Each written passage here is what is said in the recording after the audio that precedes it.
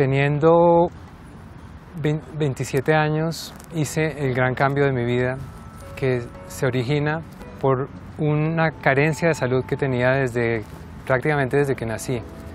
Pasé toda mi infancia y mi adolescencia yendo a médicos con problemas respiratorios graves, habiendo acudido a todas las posibilidades de la medicina tradicional.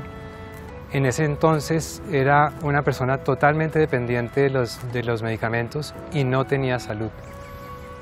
Un buen amigo me lleva donde un médico que había venido de Alemania a introducir la medicina alternativa en Colombia y simplemente me dice en una primera cita, su problema está en la alimentación, tiene que dejar de consumir carne. Por supuesto era incrédulo, pero estaba tan aburrido que dije no tengo nada que perder, voy a ensayarlo. Y en pocos meses tenía la salud recuperada, la vitalidad que nunca había tenido, la energía que nunca había tenido. Bueno, ¿cómo podemos aplicar esto que suena tan difícil de una alimentación sana en la vida diaria, en, en mi casa, en el trabajo?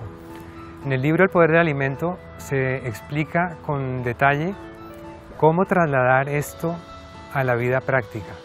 Y son cosas muy sencillas, desde beber agua en las mañanas cuando me levanto como primer nutriente, hasta cosas más elaboradas, pero que requieren simplemente un poquito de tiempo y conocimiento para poderlas hacer.